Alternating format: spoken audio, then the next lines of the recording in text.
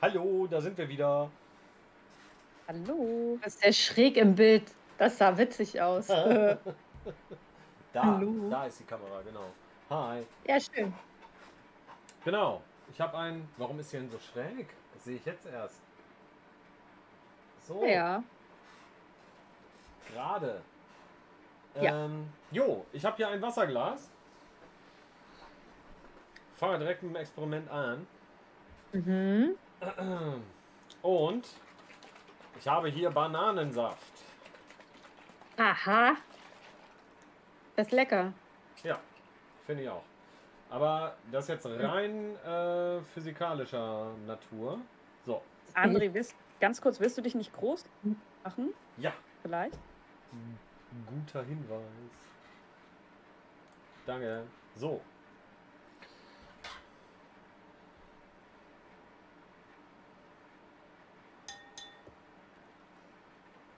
Irgendwie ist es nicht ganz. Jetzt ist es ein bisschen schärfer. So, ich habe es jetzt mal gemacht, damit man den Laser besser sieht. Was nämlich, ähm, äh, worum es heute geht, ist ein bisschen, ähm, ja, Datenübertragung. Ich meine, wir hatten das schon mal. Und ähm, äh, eine, ein tolles Phänomen ist, wenn man einen Laser nimmt, und ich werde ihn jetzt mal hier von der Seite in das Glas hineinschießen lassen. Oh, man kann es nur, Mhm. Uh. Kann es glaube ich nicht so super sehen, wie ich mir das vorgestellt habe. Aber man sieht schon, dass der an der Hm. Oberfläche reflektiert wird, ne? Ja. Ja, genau. Also es gibt hier eine schöne. Ich versuche das mal mit der Kamera. So kann man es besser sehen. Uh, äh, Ja. Das ist doch Seegras. das ist ein Laser. Vielleicht musst du mehr Bananensaft rein. Mehr Bananen. Ja, Ja, mehr also was, Bananen. was, was, hier, was man hier jetzt sieht, ähm, ist Totalreflexion an der äh, Grenzfläche von Wasser zu von Wasser zu Luft. Das, ähm, das Wasser hat einen äh, Brechungsindex, ich spreche mal hier hin, ne? Äh, das Wasser hat einen Brechungsindex von 1,33 und Luft hat einen Brechungsindex von 1. Und äh, deswegen, wenn man unter einem spitzen Winkel, äh, äh, unter einem stumpfen Winkel reingeht, so wie jetzt, dann wird an dieser Grenzfläche der Strahl total reflektiert. Und das ist auch im Prinzip das, das Wirkungsprinzip einer Glasfaser. Ähm, eine Glasfaser funktioniert so, dass man in der Mitte ähm, äh, ein bestimmtes äh, Glas hat mit einem Brechungsindex und außen ein Glas mit einem niedrigeren Brechungsindex. Und an der Grenzfläche kommt es dann zu einer Totalreflexion. Es gibt noch mehr Technologien, wie man das macht, dass, äh, dass sich der Brechungsindex langsam ändert und dann wird der Strahl so äh, wie in einer Kurve abgelenkt und nicht direkt so reflektiert. Man braucht aber nicht zwangsläufig irgendwie Glasfaser, um das zu machen. Man kann es halt diese Totalreflexion in einem Wasserglas oder in einer Wasserflasche machen. Aber man kann auch äh, dass das Licht tatsächlich durch äh, ein Medium wandert und immer wieder an der Oberfläche ähm, äh, hin und her reflektiert wird, durch was anderes zeigen. Und das habe ich hier schon mal vorbereitet. Hm. Hier ganz unauffällig im, äh, ähm, au- auf der rechten Seite steht eine, steht eine Wasserflasche. Ich drehe das mal so ein klein wenig, Hm. damit man es besser Eine sieht. durchsichtige. Ja, hier. Und da habe ich ein kleines Loch. Da tropft es auch runter. Ja, ich muss das mal ein bisschen weiter hinstellen. Und da sieht man schon, dass es rauskommt. Und wenn ich jetzt, wenn ich jetzt gleich oben die äh, Flasche öffne, kommt Luft rein und dann schießt das Wasser in einem Strahl raus. Und wenn ich dann von hinten hier äh, genau das Loch Laser treffe, dran halten. dann Geil. wird der Laser durch den Wasserstrahl wandern und äh, dann wird er hoffentlich in einer Kurve abgelenkt. Wir probieren das mal. Uh.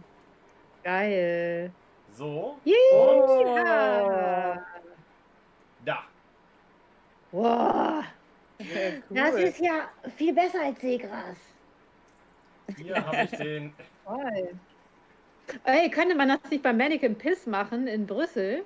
Dann muss man, muss man nur einen Laser äh, hinter äh, da wo der Penis. Wasserstrahl rauskommt, halt. Äh, da, wo der. Wasserstrahl rauskommt. also Ja. hinter die Düse, dann funktioniert das, ja. Wäre doch geil. Ja, aber wie man sieht, ne, es funktioniert sehr Schön. schön, das Wasser im Oh. äh, das, äh, das. Licht quasi durch den Wasserstrahl ablenken zu lassen. Es wirkt ein wenig Cool. so wie Frauen, die so Schmuck präsentieren, wenn du deine Hände da reinhältst und dann immer auf verschiedenen Fingern. Im Teleshopping. Ja, genau. Ja, bestellen, Sie, bestellen Sie jetzt. Es gibt diese Wasserflasche mit einem Loch drin und den Laserpointer und diese Es große sind nur Wanne. noch- Greifen nur Sie noch zu, ein- es sind nur noch drei verfügbar. Drei. Nee, nur und noch- ich schalte noch vielleicht den eine. Buzzer frei. Genau. Ah, Sehr cool. ja, in den 80er gab es zu viel Teleshopping. Mega gut. Hast du jetzt etwa selber ausgedacht? Das habe ich mir, das habe ich mir tatsächlich, äh, oder was heißt selber ausgedacht, ne? Ähm, ich wollte das machen, ähm, weil dieses Experiment kann, kann ich noch aus dem Studium, äh, aus der Laserphysik. Und dann habe ich kurz mal nach gegoogelt und natürlich, natürlich haben unsere lieben Kollegen von Methodisch Inkorrekt das auch schon mal durchgeführt. Ja. Es Ähm, gibt quasi verbrannte Erde. Ganz Deutschland ist Nee, voller verbrannter Physikerde. Finde ich nicht. Ich finde, ich finde nicht, dass das, äh, äh, dass das was anderes ist. Nikolas erklärt das auch sehr schön. Die haben ein Video davon gemacht. Das poste ich hier äh, auch mal. Wenn ihr wollt, könnt ihr euch das äh, reinziehen. Nikolas hat das, glaube ich, im Rahmen der TinCon gemacht, wo er es erklärt hat, wie Glasfaser und so funktioniert. Und er hat dann auch eine Glasfaser, wo er das zeigt. Ähm, auch ein schönes Experiment, aber er benutzt einen roten Laser. Den kann man halt Ja, nicht so gut nicht- sehen. Nee, nö. Nö, Nein, nein, nö, nein, nö, um nö, Gottes Willen. Nö, nö, nö, nö, nö. Nein, ich meine, Keine das Kritik. verbrannte Erde auch, äh, nein, ich meine es im Sinne von verbrannte Erde auch, es gibt eigentlich so gut wie kein physikalisches Experiment, was man mal so eben machen kann, ohne auf Nico und Reini zu stoßen, die es schon irgendwann mal gemacht haben. Wir- Müssen die ja auch. Ich meine, das, was sollen sie sonst tun? Ja. Ein paar, äh, ein Wir paar machen das Sachen ja haben sie noch, äh, äh, ein paar paar Sachen haben sie noch nicht gemacht. Zum Beispiel. Ja. Ähm, ah, ich weiß nicht, ob sie das mit dem Uso auch gemacht. Ich glaube, das haben sie auch gemacht, aber Doch, bestimmt. ähm, ich meine, das mit dem Brechungsindex mit den Kügelchen, die wir haben, da, das haben sie noch Ah, nicht oh, gemacht. ja, uh, ja, das ist Uh. ja, ähm, auf Aber- jeden Fall ist, äh, ähm, ich bin froh, dass es so gut geklappt hat. Also ich habe es vorher einmal ausprobiert, da konnte man es nicht so gut sehen auf der Kamera, aber jetzt hat es mega funktioniert. Das freut mich Ich glaube, total. ich glaub, das ist das erste Mal, dass ein Experiment hier auf Anhieb richtig gut funktioniert hat. Es, hatte, es hat aber auch, Ja. es hat aber auch Chapeau mit an. Lasern zu tun und oh ja, danke, danke, danke.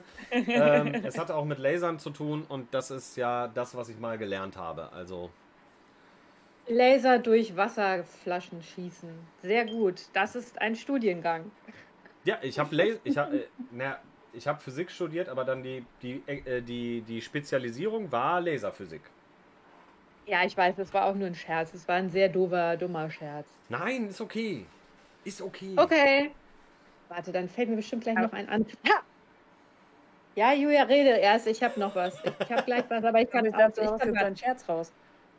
Nicht. Ich habe hier noch, ich habe das doch vor der, ich habe das vor der Pause angekündigt. Ich habe noch so ein richtig schönes plattes Tier hier zum Thema Raterätsel-Dings. Aber Ah, was okay. hast du denn jetzt Ja, ich wollte, äh, Inga, willst du vielleicht mal kurz erzählen, warum wir überhaupt auf Glasfaser und Laser gekommen Ah. sind? Äh, ja, Ja, weil Was es hat nämlich einen Grund, es hat einen Grund, warum ich das erzählt habe. Nicht nur, weil Glasfaser durch den Atlantik laufen, sondern auch, weil Inga ein Inga ist Ja. die fleißigste, was, was Recherche angeht und hat ein äh, cooles Tier entdeckt. Ja, ich habe ein Tier entdeckt, genau. Ich, äh, das ist auch noch, ähm, wo ich vorhin von sprach, äh, im Rahmen des Tierrätsels. Ne, wenn man Tierrätsel recherchiert, dann muss man halt gucken, was man kriegen kann. Und ich habe die Seemaus gekriegt. Ein Tier, was man bestimmt sehr gut illustrieren kann. Das muss man mitdenken. Und die Seemaus ist der Wurm des Jahres 2007. Denn die Seemaus ist natürlich keine Maus, sondern ein Bostonwurm, ganz klar. Das äh, sagt ja schon der Name. Ich habe André ein, ein Video dazu geschickt, das wir uns gleich äh, zu Gemüte führen können. Ähm, was ich zum Thema Wurm des Jahres 2007, das steht überall, es ist der Wurm des Jahres 2007 und es wurde vom Wattenmeer, also ähm, vom Nationalpark Deutsches Wattenmeer auserkoren, um diesen Wurm sympathischer zu machen oder mehr unter die Leute oder die Bedeutung des Wurmes für die Menschheit ein bisschen hervorzustellen. Das Schlimme ist, wenn man auf der Seite guckt vom äh, Nationalpark Deutsches Wattenmeer, diese Seite ist ein 404-Error. Das gibt es nicht mehr. Die haben diesem Wurm seinen Prestige aus dem Jahr 2007 entzogen. Oh. Ja, das ist ein bisschen dramatisch. Aber das Besondere, ja, bei dem Wurm gibt es gar nicht so viel zu sagen, außer der wird bis zu 20 Zentimeter lang. Er sieht krass aus, das gucken wir uns gleich an. Und ähm, Seemaus ist ein Name, von dem habe ich euch schon berichtet. Ähm, wo wir eben, wo ich eben die Assoziation mit Mannequin Piss hatte, falls ihr das kennt, das ist dieser, dieser pinkelnde Jüngling in Brüssel. Da geht es ja um das männliche Geschlechtsteil. Ähm, hat die Seemaus etwas mit dem weiblichen Geschlechtsteil zu tun. Eigentlich nicht zu tun, aber es ist eine Assoziation ähm, von Linné, das ist dieser schwedische äh, Artenbestimmer, der hat äh, sie Aphrodita aculeata benannt, aber erst nachdem Fischer sie Seemaus nannten, und zwar, weil sie fanden, dass man, wenn man diesen, äh, diesen Borstenwurm fängt und ihn umdreht, dass der aussieht wie ein weibliches Genital. Ja. Und äh, was das mit Glasfaser zu tun hat, wollen wir uns erst das Video angucken? Ja, können wir. Dann total wird es gerne. nicht besser. Ich glaube, dann, dann ist es einfacher nachzuvollziehen. Ich habe gerade schon einmal kurz äh, Mannequin Piss gezeigt. Das ist gut, danke. Ja, Mannequin Piss, der könnte so Laser pissen. Das wäre doch cool. Das wär's, oder? ja. Und dann hätte Find der fast auch mit Glasfaser zu tun. So, das hier ist das Video von äh, äh, einer Seemaus. Okay, Ja. ich, ich äh, ach so, ihr seht es jetzt gerade nicht, ne? Ich, ich, Ich, sehe das, aber ich, ich kenne das. Ich, Okay. ich habe es mir schon mal angeguckt. Ich mach's einfach Das an. Tolle ist, man, ja, mach mal einfach an. Man, sieht's von, man sieht die Seemaus von oben und von unten und es ist auch kein Ton, damit wir nicht wieder irgendwelche rechte Problematiken haben. Ähm, Danke, guter einfach, Hinweis. ja. Es blubbert nur im Hintergrund, weil es in einem Aquarium aufgenommen worden ist. So, da wird sie jetzt Und- auf den Rücken gedreht und da sieht man die Unterseite.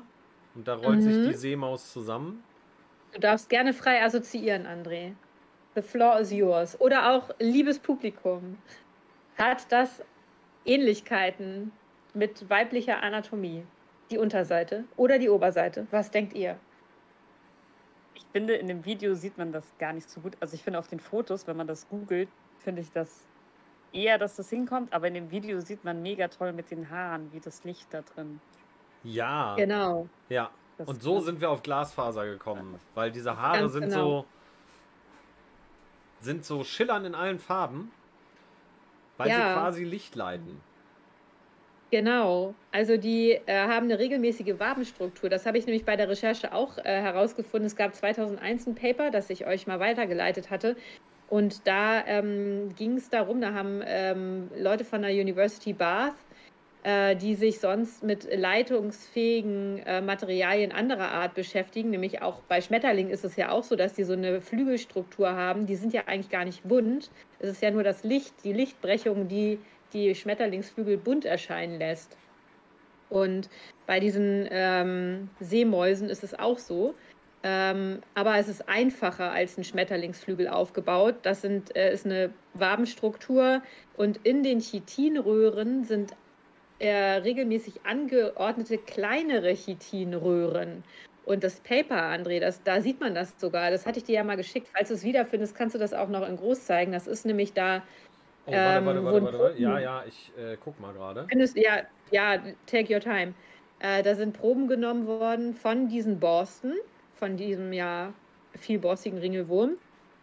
Und äh, die haben sechs Ecken, diese Borsten, sind sechseckig angeordnet und haben einen Durchmesser von 0,2 Mikrometer und äh, sind organisch hergestellt. Und das fanden die Forscher mega interessant, weil man, wenn man sonst so Glasfaser herstellt, äh, ganz schön aufwendig diese Kristallstrukturen physikalisch unter großem Druck äh, und großem Aufwand herstellt. Und das Viech ist in der Lage, das einfach organisch so bam bam da rauszuhauen.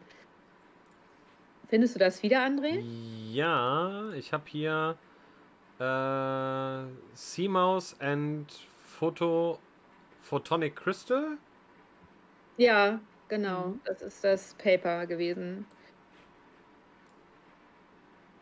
Und ähm, ich sehe es selber leider gerade nicht. Ich sehe immer noch unseren, ich müsste sonst mal auf Twitch, ich müsste mal aber auf unserem Twitch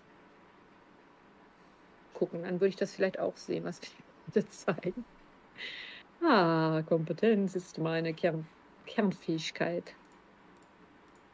Hoffentlich ruckel ich jetzt nicht gleich, weil ich überforderten Internetzugang. Äh, ich sag mal noch ganz kurz, weil Olaf hatte vorhin irgendwie gefragt, was wir von Sea Shepherd halten.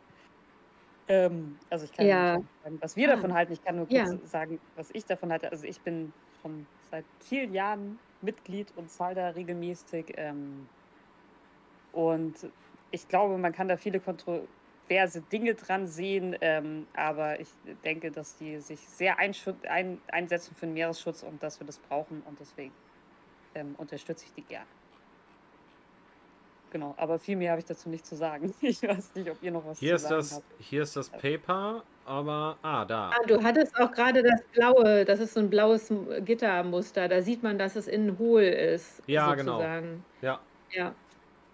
Das ist so ein Mhm. Querschnitt durch so, ein, so eine Borste.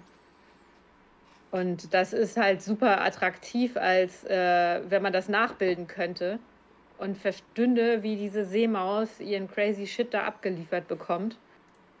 Weil alle Farben da durchgehen, je nach Einbruchswinkel und ja, organisch Und- hergestellt. Inga, weißt du, ähm, was quasi diese Haare, was die Funktion Das ist weiß von denen? keiner. Das, Es Okay. weiß niemand. Diese, diese Seemaus ist, abgesehen davon, dass sie extrem. Ja, die, echt, die hat diese zwei geilen Geschichten. Nämlich äh, einmal, dass ähm, sie nach äh, weiblichen Genitalien benannt worden ist. Also Maus ist da in Skandi von, bei den skandinavischen Fischern so das äh, allgegenwärtige Wort für weibliche Genitalien gewesen. Linné war da ein bisschen crazier und hat das so ein bisschen im Subtext mit seiner Aphrodite da in der ähm, lateinischen Nomenklatur verarbeitet. Und dann eben, dass es diese ähm, physikalische Eigenschaft von den Borsten gibt. Das sind so meine beiden Highlights.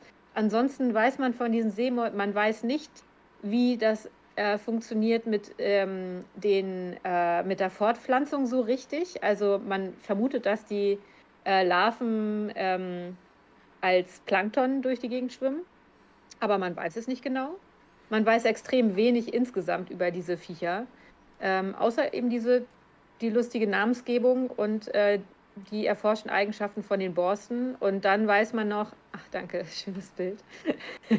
mach mal größer. Ähm, ja. Und dann weiß man noch, ähm, dass sie wahrscheinlich sich im Winter und Frühjahr fortpflanzen. Ähm, aber das ist, man ist sich halt nicht sicher.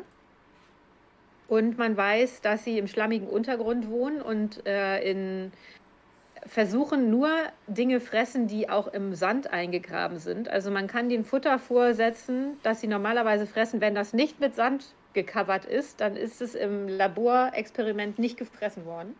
oh. Ähm, ja, und die Interessant. fressen andere Vielborster, die auch teilweise viel länger sind als die. Also auch so 60 Zentimeter Borstenwürmer finden die auch geil. Ähm, und fressen auch kleine Krebse und ja, man weiß sonst nichts. So. Man weiß noch, dass die äh, über 7 Zentimeter großen Seemäuse eine hohe Mortalität äh, haben bei Trawlerfischerei. Wahrscheinlich aufgrund der Größe, dass sie eben im Netz hängen bleiben. Ne. Klar. Ja, und dann habe ich noch eine Sache, die ich nicht weiter nachverfolgt habe, aufgrund von Zeitmangel und kein Bock mehr. Nämlich, dass es anscheinend Globuli von Seemaus gibt. Oh. Ja, Aber ist es dann, ist es dann homöopathisches wogegen Wasser, wo hilft eine das? Seemaus Gegen mal, Gegen schlechtes eine Seemaus Internet? mal drauf geguckt hat? ja, ich habe keine Ahnung, wie das und warum das so ist. Es gibt anscheinend einen Anbieter von diesen Globuli und ähm, ja, Ich finde dieses Ich Schillern der Haare so faszinierend, deswegen habe ich das. Video Das nochmal angemacht. ja, das ist auch geil. Schaut Danke. mega cool aus. Ja. Ja. Aber äh, im Prinzip äh, ist es ein mysteriös, mysteriöses Wesen. Es wurden schon welche in 3000 Meter Tiefe gefunden. Okay. Das, sorry, bei uns ja. im Chat, was Horst, du schreibst, es gibt von alles Globuli, Plazenta, Uran, Hundekot, Berliner Mauer. Echt? Berliner Mauer Globuli. Und gegen was? What? gegen äh, Abtrennungsgefühl. Äh, für Abtrennungsgefühl. gegen, gegen eine Mauer im Kopf oder. Oh, geil. Und was Olaf schreibt, gab es da nicht mal einen Film in den 80er Jahren mit dazu passenden leuchtenden Kondomen? Was? Die Boston, ah, zum Thema Boston am weiblichen Genital. Das ja. Es müsste mir nochmal genauer ja. erklärt werden. das weiß ich nicht so genau. Weiß aber Rosti weiß natürlich, leuchtende Kondome gibt es. Ja, äh, Nacht, nicht, Nachtleuchten oder mit Schalter zum An- und Ausmachen. Das erinnert mich daran, dass ich für meine nächste Lesung am Sonntag mir so mini Kondome brauche. Nein! Lass mich, ich komme nach Köln. Oh, nein.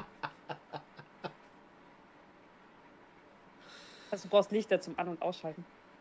Nee, ich habe in meinem äh, Benno Bieber Buch auch die Tiere der Nacht im Wald äh, abgebildet und dann dachte ich, äh, das geilste nachtleuchtende Tier, was ich kenne, ist ein Glühwürmchen und dann mhm. habe ich mir oh, aus ja. dem Online Zauberbedarf äh, solche Dinger gekauft. Wenn man draufdrückt, dann macht es so ein Glühwürmchenlicht. Und davon mhm. habe ich zwei. Die sind sogar niedlicherweise in Glühwürmchenform, also so abstrahiert, total unrealistisch. Aber die habe ich. Und dann kann ich so tolle Licht hin und her Werfspiele machen. Ja. Freue mich jetzt schon. Ja. Sehr gut. Das habe ich auch bei meinem Science Slam gemacht.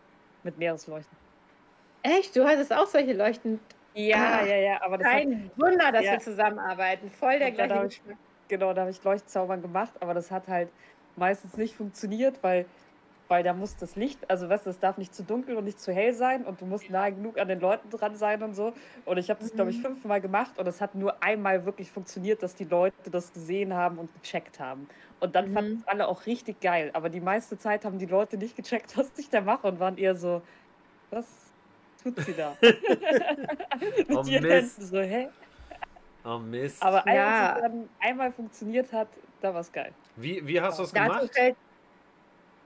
Ähm, ich habe, ähm, genau, das ist so, was Inga sagt, das sind so Lichter, die du quasi so mit Drücken an und an machst und so. Und dann kriegst du Unterricht von einem Magier, der dir erklärt, wie du es am besten machst, dass nicht ausfällt, äh, nicht auffällt.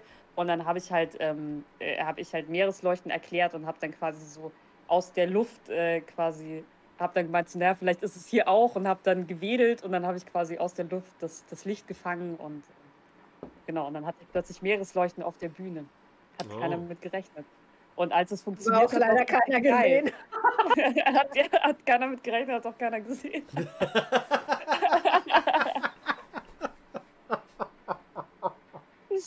ja, doch, einmal, einmal haben es die Leute gesehen. oh, ich hole die gleich mal raus, ich zeige euch die gleich nochmal. Ähm, aber dazu fällt mir ein, Julia, äh, du musst dich vorher erkundigen, oder ich kann das ja am Sonntag auch mal machen, wenn ich jemanden findet, äh, in Köln. Es gibt zwei Bühnen. Und ich gehe davon aus, dass du auf der oberen Bühne bist. Und ich hoffe, ich bin selber auf, diesmal nicht auf der oberen Bühne, weil die obere Bühne ist nämlich alles hell. Ähm, das sind ähm. Glaskasten. Oh. Und, ja, also sie haben ja. mir schon gesagt, dass äh, es Beamer und so gibt, aber sie haben gemeint, ja. man kann es nicht abdunkeln. Genau, das, ja. das ist nämlich das, was ich dir gerade mitteilen wollte. Mhm. Und das ist nämlich, wo ich jetzt gerade auch ein bisschen an meinen Glühwürmchen-Effekt zweifle. Aber ich mache ja für Kinder und deswegen ist es normalerweise im unteren Bereich und das ist dann wieder anders. Da ist es dann nämlich im Keller und kein Fenster. Ich weiß gar nicht, ob ich für Erwachsene oder für Kinder mache. Für Familien mache ich, glaube ich. Ja, für Familien. Aber du hast ja ein Programm, was äh, vom Inhalt auch vor allem Erwachsenere auch anspricht. Und ich habe so ein, wir machen interaktiven Waldspaziergang für Kinder ab vier. Das ist äh, ja. andere. so. Ja, ich habe noch gar kein Programm. Ich muss mir das noch ausdenken. Aber ja. Ja, ich mache das auch im Zug am Freitag. Also ich habe eine grobe so Vorstellung. Ich habe mein Material gekauft. Ja. Ja, wann soll man das? Ich mache jetzt gerade einen Online-Workshop mit äh, drei vierten Klassen. Das äh, ist genug Arbeit gerade. Hm. Egal. Ähm, die Seemaus ist durch. Ja, Die Seemaus ist durch. Ne? die, die Seemaus ist durch. Ah, ich war gerade, irgendwas hat mir noch. Ich wollte den Code-Checker zeigen. Ja. Ja. Oh, und ich wollte Ähm. euch noch einen ganz flachen Witz mal äh, zeigen gleich. Nee, mach mal erstmal den Code-Checker. Ich mach dann. Äh, äh, mein Code-Check. Also ich habe gerade hier aus, aus meinem Bad ein paar Sachen geholt. Ähm, genau, und dann ist diese Warte, ich mach App. mal größer. Und dann nimm mal einfach den Barcode und scan, ich will, scannt das. ja. Und dann, oh, noch zwei. Und dann kommt Werbung. Ähm, genau, und dann kommt das Produkt und dann sieht man schon, hier ist viel grün und wenig rot, das ist schon mal ganz gut. Mhm. Und dann, oh, ich halte die ganze Zeit schräg. Äh, genau, und dann wird da eben aufgelistet, ob da irgendwie bedenkliche Stoffe drin sind oder nicht. Und auch, ob das äh, vegan ist oder nicht. Das heißt, äh, wenn es vegan ist, dann ist da kein Hai drin. Ähm, und dann kann man da zum Beispiel auch klicken, mehr Informationen und dann listet das wirklich ganz. Ähm, dann listet das die ganzen Inhaltsstoffe auf. Und was halt auch cool ist, ist, man kann dann da auch draufklicken und dann kriegt man zu diesen Inhaltsstoffen nochmal genaue Informationen. Ähm, also das ist da sehr, sehr lehrreich. Also zum Beispiel jetzt bei dem Produkt, da ist jetzt quasi als böse angezeigt, dass da Palmöl drin ist. Ja. Schau, da dachte man, man kauft, man kauft was Gutes und dann ist da Palmöl drin. Ähm, Ja. Genau, und da kannst du eigentlich, also ich habe jetzt gerade so ein paar Sachen irgendwie aus dem Bad geholt und ähm, genau, und die waren eigentlich alle drin. Also die Datenbank ist mittlerweile ganz gut. Also vor drei Jahren oder sowas, da war es dann oft so, dass man, äh, dass dann über das Produkt nicht gefunden wurde oder sowas. Mhm. Aber mittlerweile ist die Datenbank ähm, eigentlich so groß, dass da ziemlich viel drin ist. Und genau, und die sagen halt einem auch, also da geht es dann eben nicht nur um Mikroplastik oder so, sondern auch, ob da irgendwelche bedenklichen Inhaltsstoffe drin sind, ähm, die halt auch gesundheitlich bedenklich sind oder so. Und ähm, man kann natürlich auch irgendwie da hinten drauf lesen, was da steht, aber viele Sachen sagen einem dann halt nichts. Und ähm, in der App kannst du halt dann eben wirklich Ja. genau lesen, was da drin ist. Und äh, das ist ganz hilfreich und die funktioniert auch wirklich super easy. Also habt ihr ja gerade gesehen mit dem Einscannen, also das geht wirklich ziemlich gut. Genau. und Ja, das weißt von du, B- womit von das- BUND, glaube ich. Ja, und Greenpeace ist da auch mit dabei und so. Ich habe mir das ja gerade runtergeladen und ich hatte ja gemeint, man könnte ja auch äh, Bier scannen und du meinst, es geht um Kosmetik. Aber, Jules, Man kann Bier scannen? man kann auch Bier scannen. Ah, das ist neu. Ah, okay. Ja, und Ja, Fockaffe also- sagt auch gerade, der Codechecker ersetzt den Erziehungsberechtigten, er rät mir, den Konsum meines Bieres einzuschränken.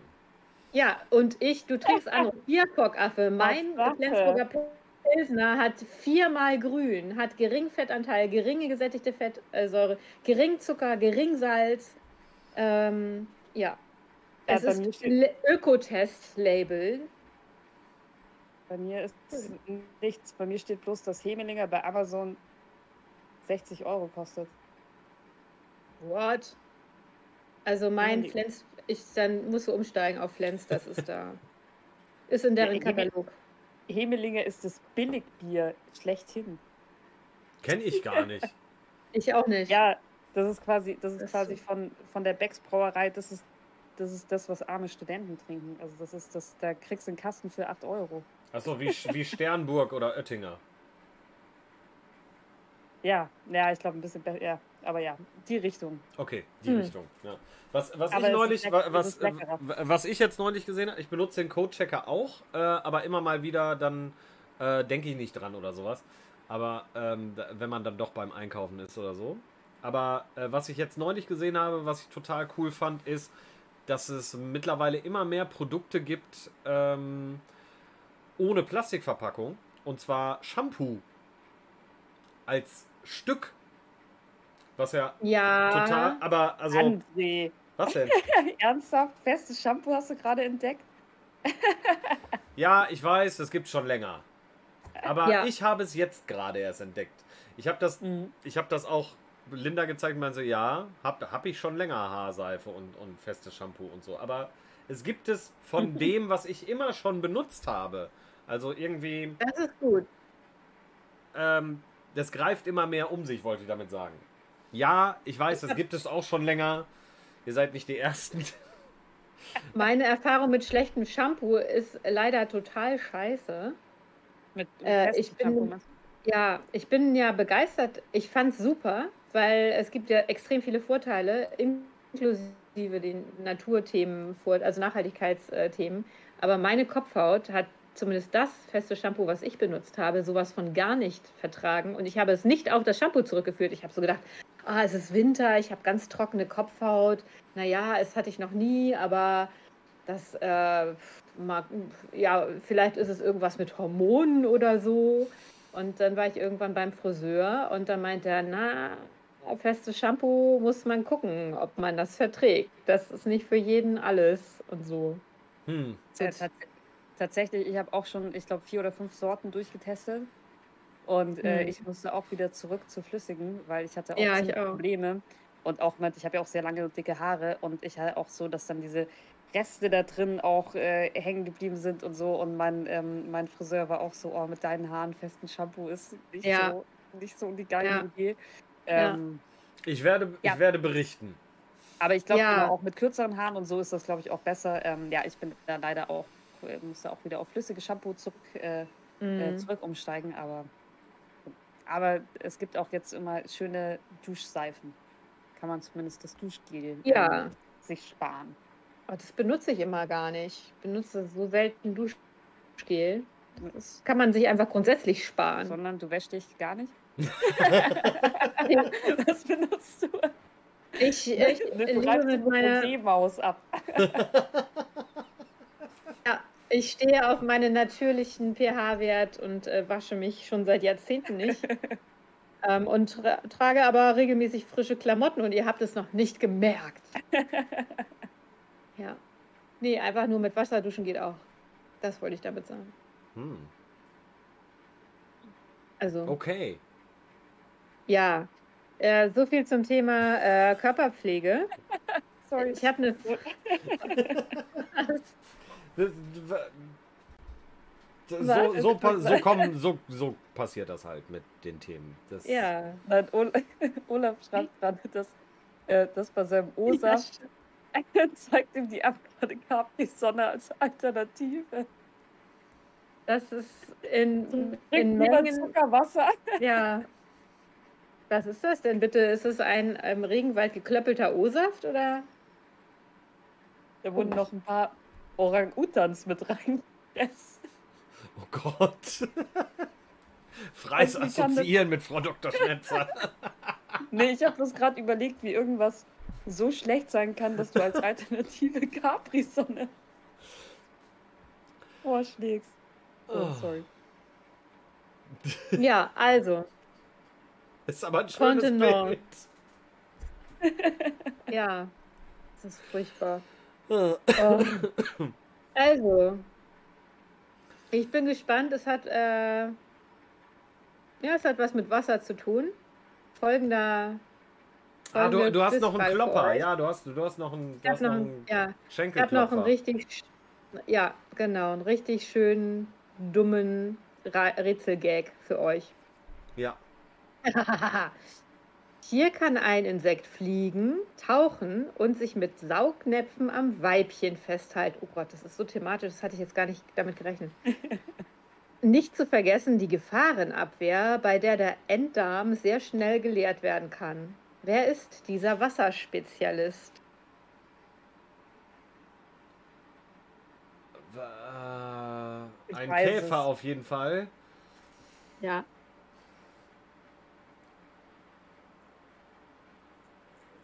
Das äh, geneigte Publikum kann mitraten bei diesem dummen Platt-Illustrationswitz. André, guck noch mal genau hin. Du hast die Chance auf ein äh, ewige Liebe hast du eh schon. Also Ein Blaukäfer? Nein. Guck, mal, was, guck doch mal hier, André. Was ist denn hier die Farbkombination? Und wo ist was andersfarbig als woanders? Blau-Orange. Hm? Der, der Kotflügelkäfer? Nee. Wie kommst du von blau-orange auf Kotflügel? Weil der Kotflügel orange ist. Da hier ist doch überall was orange und es soll auch eigentlich gelb sein. Der, okay, der, der gelbe Unterbodenkäfer. Oh, der Chat hat schon. Gelbrandkäfer! Okay. Der Chat hat schon. Danke! Ja. Sehr gut, ich glaube, Wow.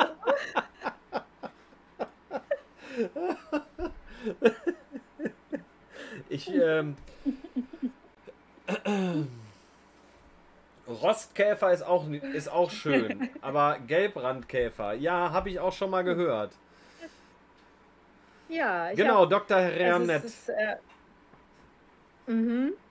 Ich habe Ja, Mikroskopie gemacht. Mit, nix mit Käfern. nicht mit Gelbrandkäfern. Ja, Du bist halt Äh, der und, äh, Nettdoktor, Mann. ja, du bist, ja, Du bist der einzige wirkliche Nettdoktor. Ich bin der Ja. Nettdoktor.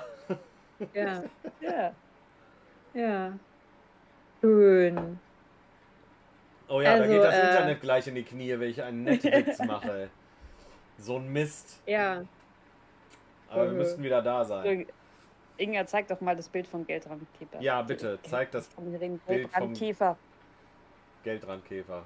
Gel ich muss Gelb jetzt auch selber lesen. Ich, ich kann das, das leider so nicht vorlesen. Kann das jemand anders von euch lesen? ist sehr, Nee. sehr schwierig. Der männliche, wenn du sie stillhältst vielleicht, der männliche Gelbrandkäfer besitzt einen großen und äh, äh, großen, einen kleinen und etwa 150 winzige Saugnäpfe an den Hinterbeinen. Sie wollen schließlich gut auf die Paarung vorbereitet sein und sich festhalten können. Aus den Eiern entstehen Larven, die im Teich auf die, äh, auf die Jagd gehen und größer als der spätere Käfer sind.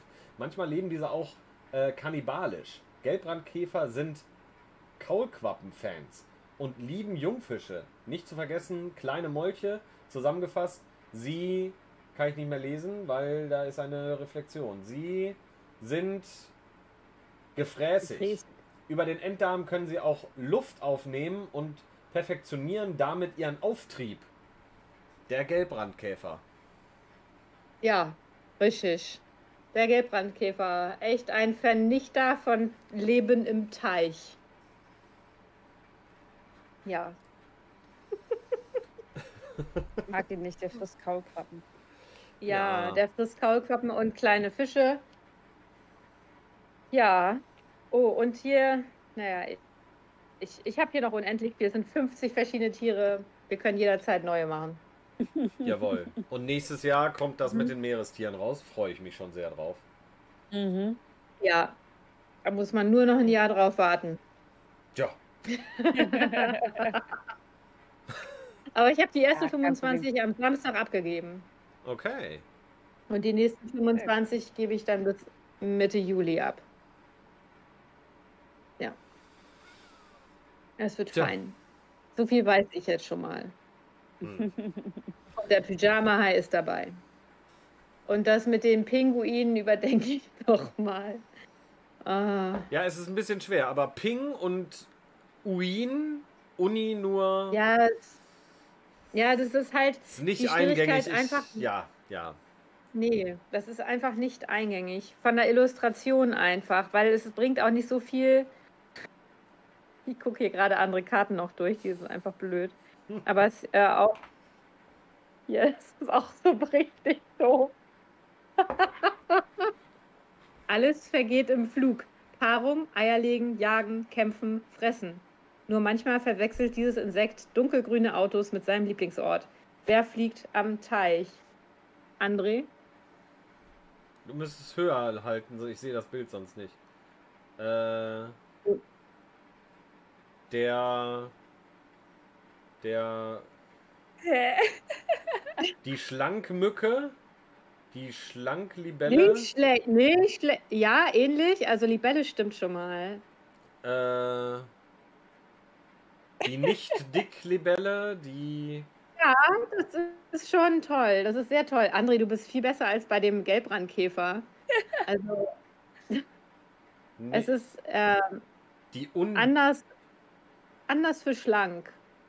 Schmallibelle, die, die, Es, es hat mit genau diesem, diesem Körperbereich zu tun. Was ist das für ein Körperbereich? die, die, die Ja, genau. Sixpack-Libelle. Schmalbauchlibelle.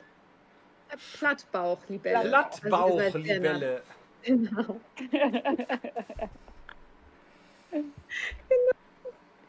Ja, also ich hatte sehr viel Spaß beim Erstellen von diesem Kartenspiel und den Informationen für die Illustratorin, was sie da zu zeichnen hat. Ja, ich muss mich gerade entschuldigen, weil ich jetzt die ganzen Kosmetikprodukte aus dem Bad geholt habe, habe ich angefangen, mich einzucremen. Aber es musste, es musste sein. Oh, Julia, ich habe mir eine Deo-Creme geholt, falls du nichts gefunden hättest, aber das mache ich jetzt nicht.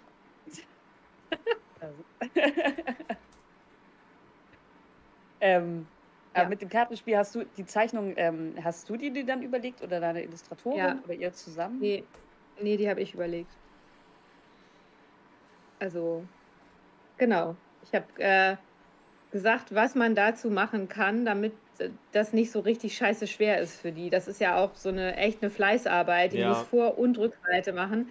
Und Mhm. ähm, ich habe dann immer äh, ihr gesagt, was das für ein Tier ist und den wissenschaftlichen Namen, damit sie auch genau weiß, welches. Ja. Und dann gibt es da trotzdem immer noch zehn Korrekturschleifen, wo du dann sagst, na, das sieht aber auch noch nicht perfekt aus, guck noch mal auf dem Bild und auf dem Bild. Mhm. Und ähm, es ist schon sehr spaßig, sich auszudenken, wie man das Tier so darstellen kann, dass das Tier nicht gezeigt wird, aber eigentlich die Wortbestandteile des Tieres, sodass man es auch halbwegs rausfinden kann. So. Ja. Ähm, aber auch schwierig. Also es ist witzig und schwierig gleichzeitig und das, das kann die gar nicht in der Zeit leisten, das alles Ja. irgendwie sich so zu durchdenken. Ja. Ja. Aber ich habe auch eine äh, gute Bekannte, mit der ich ähm, auch gerne mal konspirativ dann abends darüber telefoniert habe, wo ich so, ey, Assoziation. Sag mir mal, was äh, Plattbauchlibelle. Aber es gibt halt auch richtig schwierige Sachen, so das. Ja. Egal, wir können beim nächsten Mal mal weitermachen. Ja, Genau, apropos witzig. nächstes Mal. Ja, äh, haben, wir, haben, wir eigentlich ein, haben wir eigentlich schon ein Datum Nee. gemacht? Nee, haben wir nicht. Nee, Ne? wir, haben, wir müssen, wir müssen das mit dem, äh, wir müssen es mit dem Fußballkalender vielleicht ein bisschen absprechen. Ich meine, wir wissen ja. Ja. jetzt, dass es ja wirklich tolle Leute gibt, die da drauf scheißen. Aber ich glaube, je weiter man in diesem EM-Ding weiter fortschreitet, desto mehr Peer Pressure kommt, falls Deutschland weiterkommt. Ja. Und dann, dann wird es immer irgendwie interessanter. Das habe ich zumindest so mitbekommen. Insofern, äh, lass uns das gleich vielleicht nochmal besprechen intern und dann geben wir das bekannt, wann wir den nächsten Termin machen und das dann ein bisschen abgestimmt vielleicht, dass wir nicht gerade das Endspiel. oh, aber Fußball-Endspiel, naja. Naja, ja. Ja, wenn wir, in der, Spielplan äh, wenn wir das in der Woche machen, dann sind wir safe, weil ich glaube, die ganzen Halbfinals und, und Endspiel sind alle am Wochenende. Also von daher sind wir, glaube ich, was das angeht, safe. Ich habe keine Ahnung. Kannst Ja. mir alles erzählen. Okay.